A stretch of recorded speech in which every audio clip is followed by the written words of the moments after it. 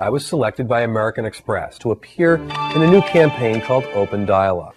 Nobody had Jeff's point of view. Nobody had his fresh, unrestrained approach to a problem. And best of all, nobody, nobody had Jeff's energy.